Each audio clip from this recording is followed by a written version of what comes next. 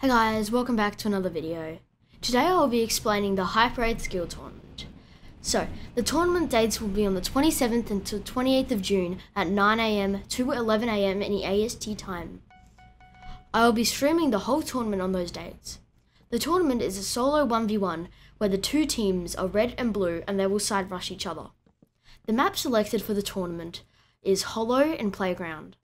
Some basic rules are no gathering emeralds, items such as knockback sticks, pop-up towers, bows, iron golems, silverfish, and items that cost emeralds to purchase are banned. You are not allowed to enter the mid-island, as if you do, you will be disqualified from the tournament.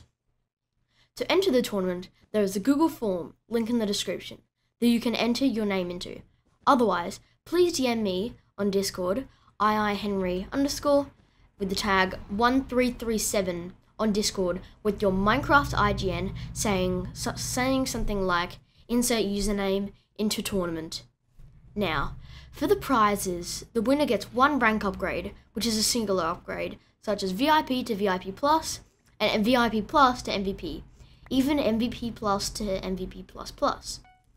Second place will earn a special role only to themselves in the Hyperwraith and iihenri underscore club's Discord server, which is only for the person that comes second. The name of the role is up to you if you come second.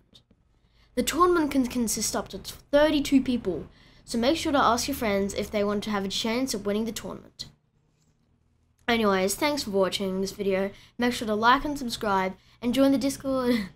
Anyways, so there will be a link in the description.